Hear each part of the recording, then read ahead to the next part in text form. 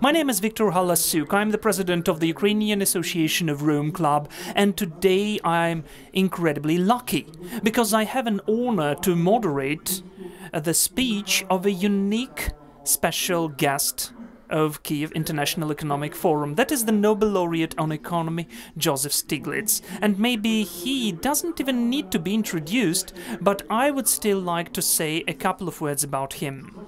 Joseph Stiglitz is a professor of the Columbian University in New York.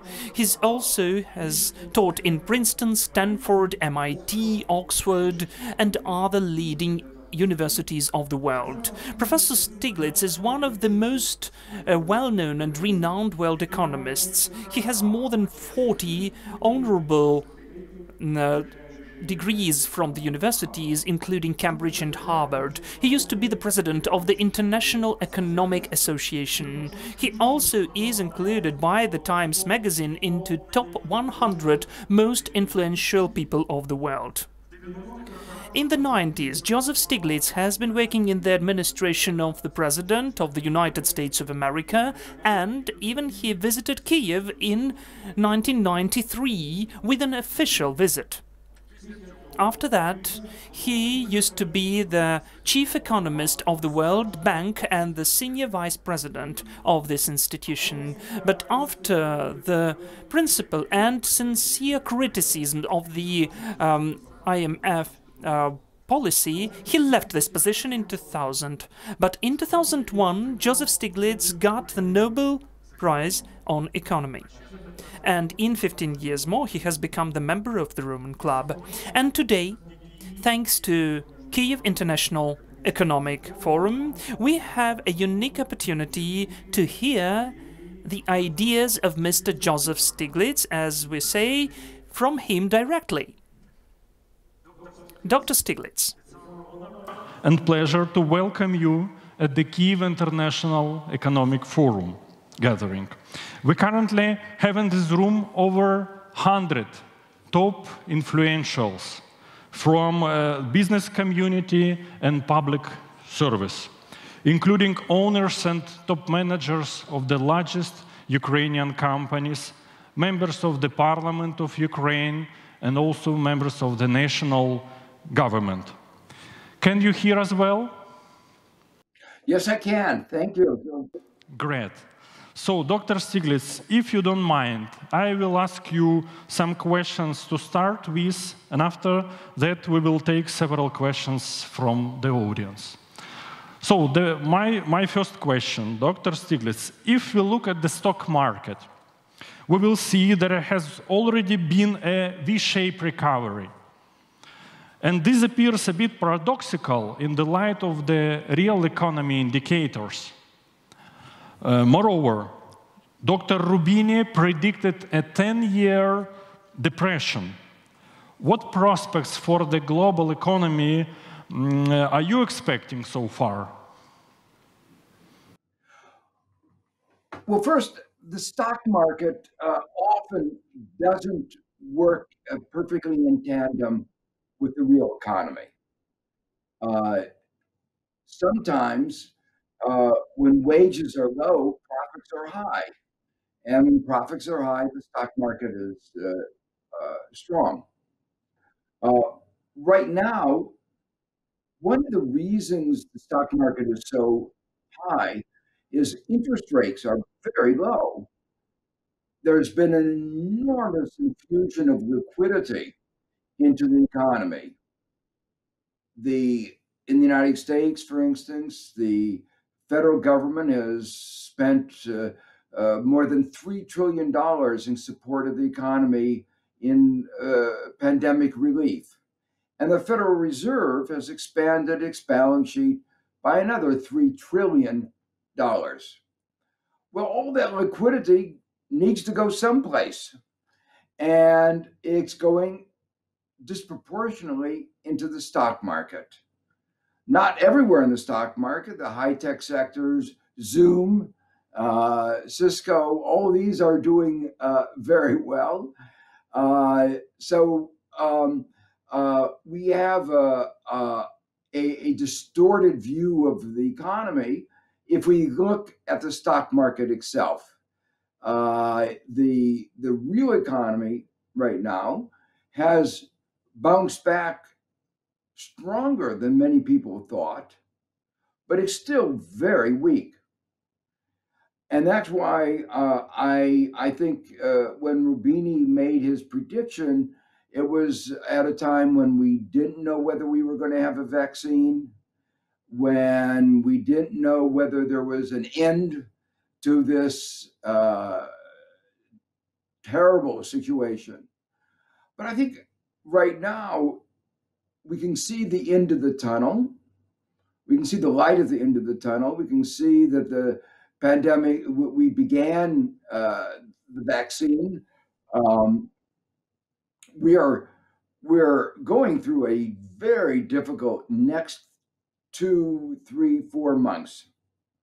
Um, you know, we have lost as many Americans to COVID 19 as we lost in World War II. Uh, that is the scale of the of the devastation of COVID 19. The economic aftermath will be with us for a while. Companies, especially small businesses, have gone bankrupt. Airlines are on the edge. Corporate balance sheets have been eroded. Household balance sheets have been eviscerated. Uh, many poor Americans are particularly in difficult straits. We had a suspension of evictions, and that helped enormously. But now, uh, some 35% of Americans are behind in their rent payments, many by many, many months. So it's a very difficult hole that we have to climb out of. Unfortunately, the pandemic uh, support ended in the midsummer, and we needed another support package. But the President Trump was not willing to provide the support, and Congress, the Republican Congress, were not willing to provide the support. They are now in the process of reaching an agreement on a smaller package, not enough, but at least it's better than nothing. Uh, so uh, the damage has been uh, deep, but I do, uh, I'm optimistic uh, that we will be pulling out of it, but it may be uh, a year before we're back to normal. Thank you. So in long term, it sounds quite optimistic. Uh, uh, Dr. Stiglitz, based on your rich international experience, what would you recommend to developing countries in the current situation? How can they break out of this vicious circle of commodity exports, emigration of people, and debt dependence? Well, first, let me say that, that the developing countries, emerging markets, uh, many of them have been hit very badly by the pandemic. Uh, they uh, countries like Latin America, India, their health status is not good, and this COVID nineteen goes after people in poor health and crowded conditions, poor uh, healthcare systems. Uh, they don't have the resources to revive the economy. Uh, the United States uh, pandemic economic support programs represented uh, $3 trillion, as I said before, 15% of GDP. The poor countries simply don't have those resources. So many of the Latin American countries, for instance, and India are really facing a very difficult time. And there are two things that uh, I think the important for the international community to do. Uh, the first is uh, a special issuance of the special drawing rights, kind of money that the IMF can issue. Uh, the head of the IMF has called for an issuance of $500 billion of special drawing rights. A lot of support all over the world, except from President Trump and his Secretary of Treasury. They vetoed that along with uh, India. I'm very hopeful that when we have the new administration in Washington on January 20th, uh, we'll uh, provide that, that support that's needed is so important. The second, you rightly emphasized debt. Many of the countries are much too much in debt, and the pandemic pushed them over the cliff. There are going to be many countries facing debt crises. And unfortunately, we don't have a good framework for restructuring sovereign debt, international debt. Uh, you, you know some of the difficulties uh, of, of uh, that, that uh, poses. Um, the United Nations in 2015 adopted a set of principles for uh, restructuring sovereign debt. Overwhelmingly, only six countries opposed, but they included two of the most powerful, United States and and uh, uh, the UK. And so, unfortunately, at this juncture, we don't have the framework for restructuring sovereign debt. Uh, I hope that there will be some pressure from the international community uh, for that kind of restructuring for some of the most afflicted countries. Now, the broader question that you raised is a really important one. Many countries around the world have remained too dependent on natural resources. Uh, what makes for the wealth of nations is uh, industrialization, uh, education, uh, the uh, advance in in uh, uh, knowledge, entrepreneurship, and unfortunately, there's a phenomena called the natural resource curse.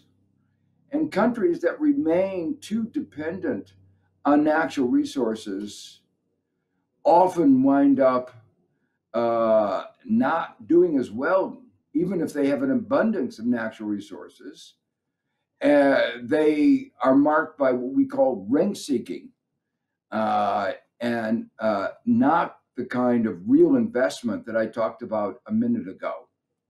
So I think absolutely the core of success is, is moving away from this reliance on natural resources. Thank you.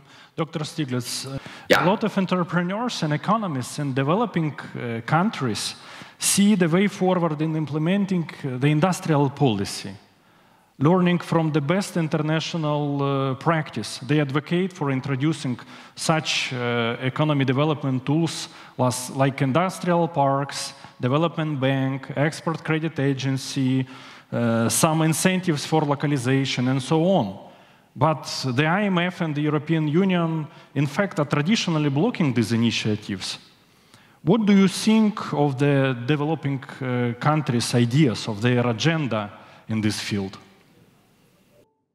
Well, this is an area in which there's been tremendous change uh, in the last 20, two decades.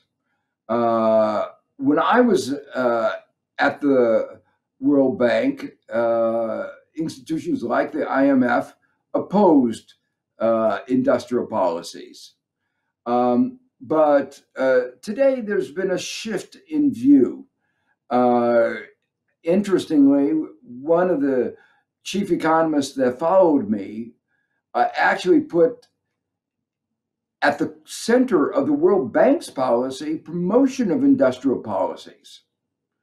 And uh, it's very interesting in the United States, both parties now agreed that there's an important role for government to promote industrial policies. Uh, there's been a shift in the intellectual uh, framework. Uh, an important book uh, by Mariana Mazzucato talks about the entrepreneurial state, the role of the state in promoting entrepreneurship, and the fact that in the United States, for instance, it was the government that promoted the internet, that did the basic research, that developed the first browsers. Uh, and if you look at every one of the main sectors that has been successful, behind it is a government effort, often at a very basic research, but often uh, broader support.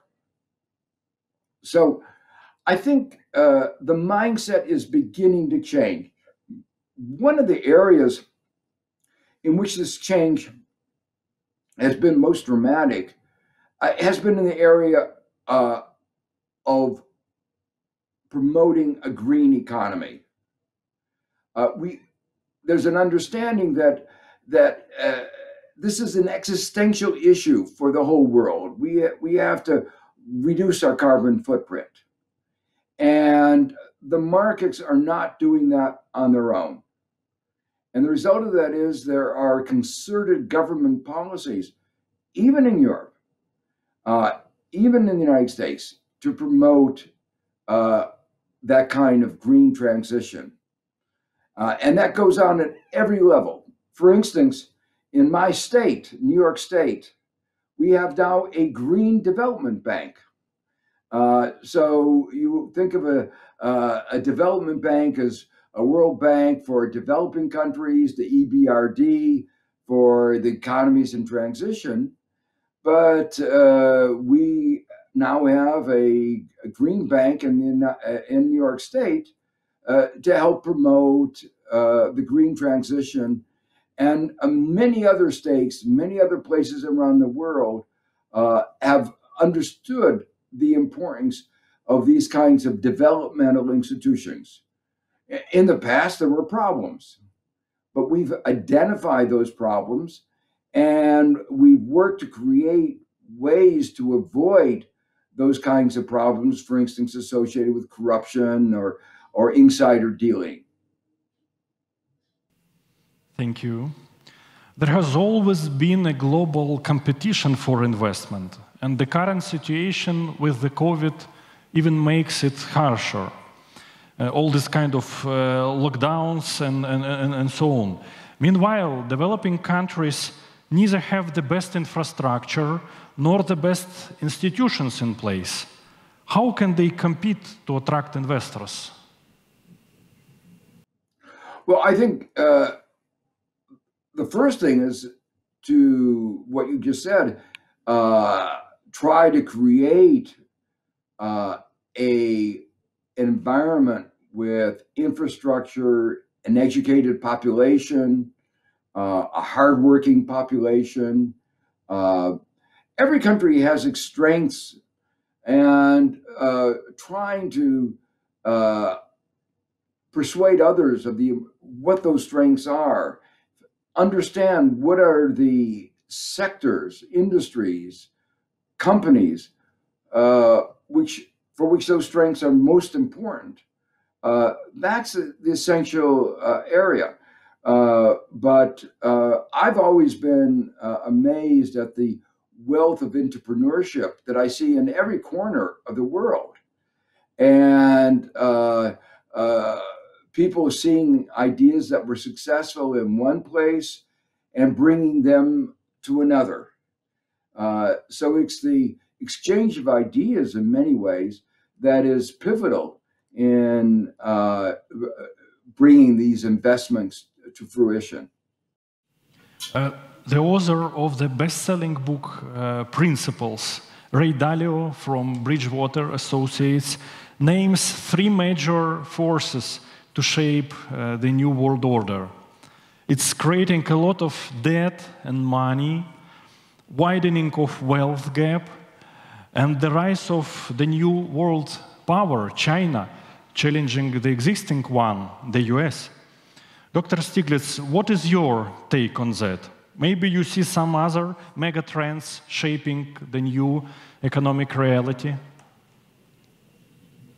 Well, I, I think there are several. I think the changing uh, geopolitics, geoeconomics is one of the important things going on uh, the a world dominated by uh, one or two superpowers uh, is a world of the past. Uh, the the the they're, they're, we're mo- moving in much more into a, a uh, world with multiple uh, power centers. And it's going to be difficult to adapt to that. Um, I remember a, a, few years ago when in um, 2015 it was, in the standard ways in which people rank countries, which is called PPP, purchasing power parity, not the official exchange rate, but taking into account differences in cost of living in different countries. Uh, um, the data that had been compiled by the experts at the World Bank showed that China, in this measure, PPP, was larger than the United States. And neither China nor the United States was happy. Uh, the United States did not want to become number two, and China at that particular moment didn't want to stick its head up because it knew that if it stuck its head up, uh, people would start uh, criticizing it. So it was an interesting moment in history five years ago. Uh, things have changed a lot since then. Uh, but uh, the point I want to raise is that we are in a new geopolitics. Inequality that he mentioned is a second very important driver of the difficulties the world is facing today. Uh, I think expect some of the ugly politics that we've seen in some parts uh, of the world. But a third thing that I would have put on my list is technology, innovation, uh, the transformation in our societies that is going on very rapidly, artificial intelligence. Uh, and uh, that will interact with uh, the other two uh, because uh, success in these new technologies will play an important role in the new geopolitics. And uh, if we don't manage the new technologies well, they could exacerbate our inequality. Thank you. Dr. Stiglitz, I would like to particularly ask you in more detail on the inequality factor. We see more and more inequality uh, between the countries worldwide, on the one hand, and between people at the national level at the same time. And it looks like technological development only fuels this process additionally. What does it mean for the future of economy in long term, and where is the limit to inequality? Well, uh, I think uh, that inequality is not inevitable. Uh, some degree of inequality is, but not the level of inequality that we have today. Uh, much of the inequality is fed, uh, is a result of uh, malfunctioning of the economy. We have market power, monopoly. We've uh, undermined the bargaining power of workers. Uh, we've have flaws in our corporate governance. Uh, we've given, I mentioned before, the problems of rent seeking. We've given too much scope to rent seeking. Uh, and, and many, many of the wealthy people in the country are not the people who are the most important innovators, but the people who are the best exploiters of others, uh, the best uh, in learning, uh, the best uh, rent seekers, we might say. So, uh, and the result of that rent seeking, you get slower economic growth. So uh, it used to be thought that there was a what was called the big trade-off. You could only have more equality at the expense of lower growth. I wrote a book a few years ago called The Price of Inequality. And the thesis of that book was that, in fact, if we have a society with more equality, we can actually grow uh, better and grow faster. And that view, which I put forward in my 2012 book, has now become widely accepted by the IMF, by the OECD, uh, by the World Bank, uh, by most econ- economists. So, uh, in fact, uh, if we uh, uh, create a more equal society, which includes having a new set of rules, more effective antitrust, but also better education systems to give more opportunity to other to to those who uh, have lower income, uh, we we will be able uh, to grow the economy more, and we'll have more shared prosperity. Thank you. Dr. Stiglitz, you just mentioned that uh, the global economic power is obviously shifting uh, away from the West towards Asia, and China rise is, is a very bright example. And we have already reached the point at which most of the economic growth is generated in non-Western countries. Who may be the world economic leader in the 21st century? Well, I think I think uh, we're as I said before, we wouldn't we shouldn't be looking for a single country. I think we have to think about this as a multipolar world. Um, also, let me emphasize that my belief uh, that the core of long-term economic growth is innovation and uh, development of knowledge. And I think in the long run, uh, that could only be done in a free society. So, from my perspective, um, the countries that do not have democratic governments are going to find it more difficult. So, that is one of the strengths of uh, Western Europe, of the United States. The United States almost lost uh, that sense of democracy. I do really believe that Trump uh, uh, was at the uh, verge of uh, weakening of our democracy, uh, calling into question the elections when absolutely clear this has been well conducted election process. Um, so I think if the United States can maintain its democracy, if it's able to uh, maintain its strong universities, its research centers, uh, I think uh, that the United States, with Western Europe, will be the center of innovation, and that will enable them to uh, maintain uh, a very strong position in the global economy. Thank you. Dr. Stiglitz, as soon as you are a member of the Club of Rome, I would uh, like to particularly ask you on the sustainable development agenda. Should it be introduced as a very central and core part of the national economic policy in the developing countries, or maybe it's uh, premature, or maybe it is too, sophisticated, too sophisticated issue and uh, they should have an old good economic growth and uh, then shift to the sustainable development. What's your take on that? So I think sustainable development is at the core of all countries in the 21st century.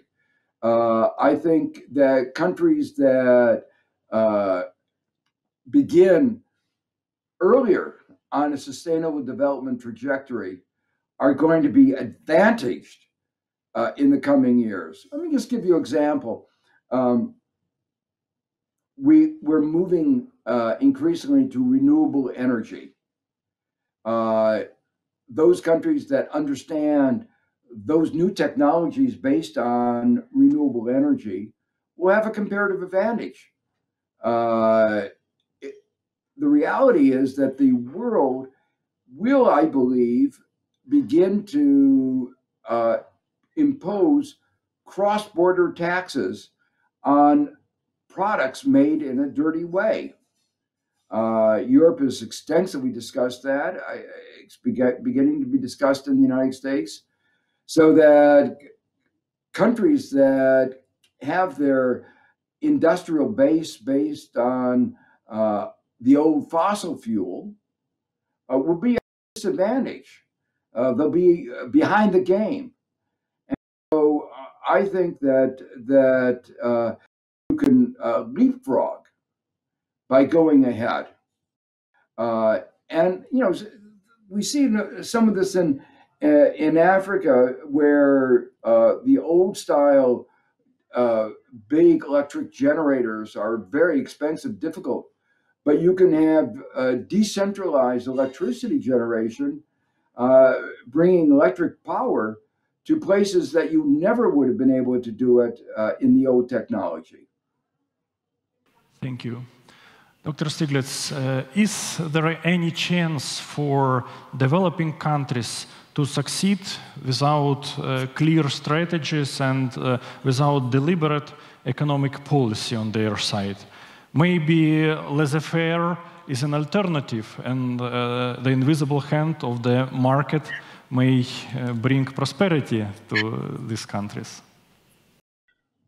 Uh, no, laissez-faire has never worked. Uh, the the reason uh, that uh, the countries uh, like the United States and uh, Europe are where they are is that there's been uh, strong support for the government in investments on infrastructure, technology.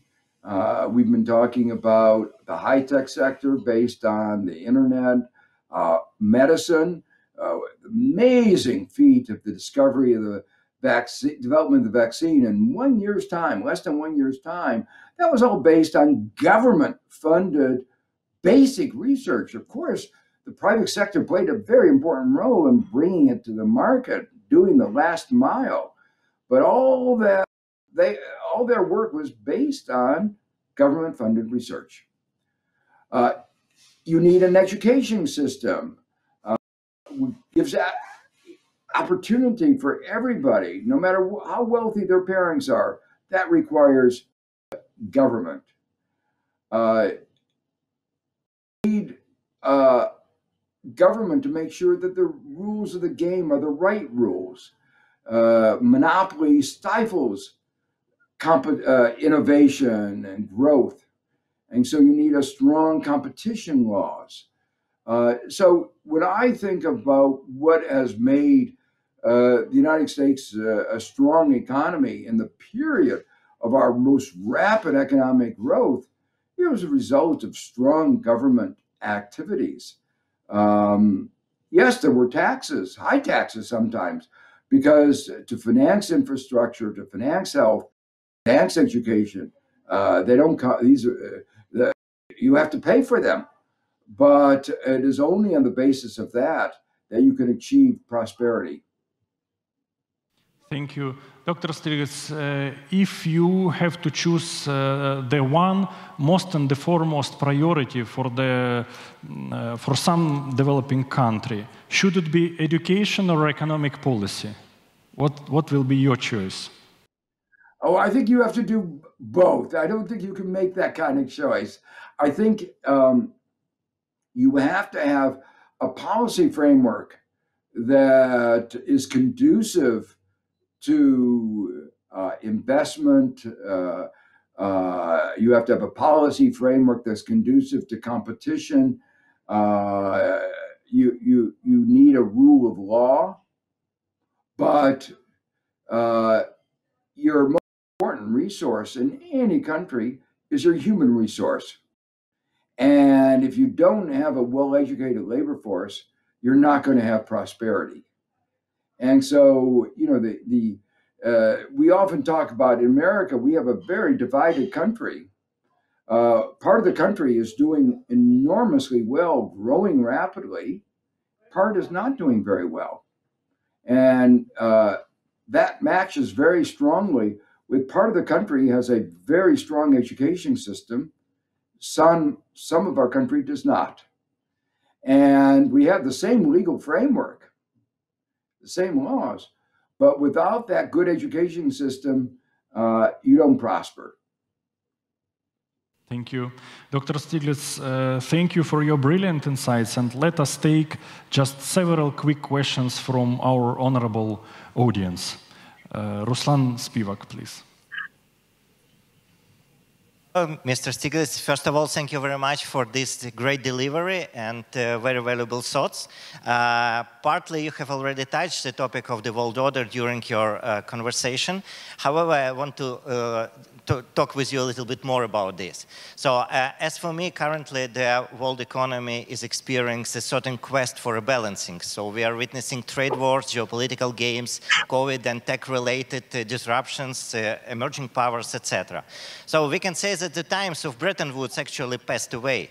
And uh, actually the world economy is facing two main threats as for me. So the first is continuing this equilibrium between spending and saving, which we already touched a little bit and uh, I prefer to call it usually like a, the casino economy. And the second one, this is the return to the multipolar uh, world, uh, which state of instability, as for me, is very close to what we experienced before the First World War period.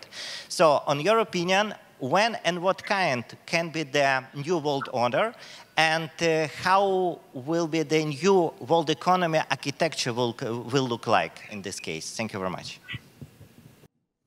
Yeah, well, I hinted a little bit about my thoughts about that before. I think we're going to be moving to a more multipolar world, uh, not a world which dominated by one or two or three countries. Many of the problems that we faced are global. So uh, we've gone through a very difficult period where people like President Trump tried to undermine multilateral cooperation but we aren't going to be able to solve the problem of climate change, pandemics, um, without global cooperation.